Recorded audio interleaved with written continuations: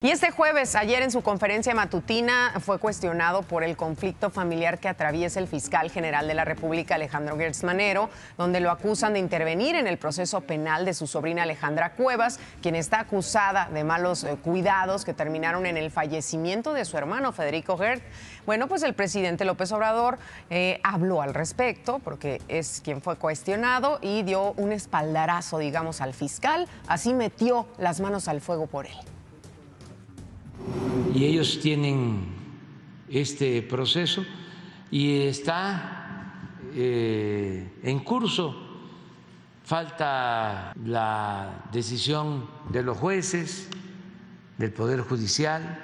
Yo lo único que puedo decir o repetir es que le tengo confianza al fiscal general, Alejandro Gersmanero. Y este, lo considero una gente íntegra, incapaz de fabricar delitos.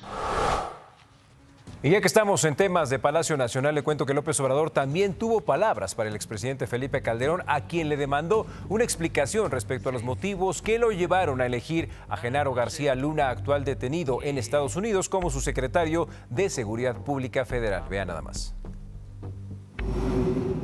¿Nos debe Calderón esa explicación? Independientemente de lo legal. No es nada más decir no sabía, no. A ver, ¿qué sucedió? A ver, ¿qué pasó? ¿Cómo conociste a ese señor? ¿Por qué lo nombraste? ¿Qué no te diste cuenta de cómo este, actuaba?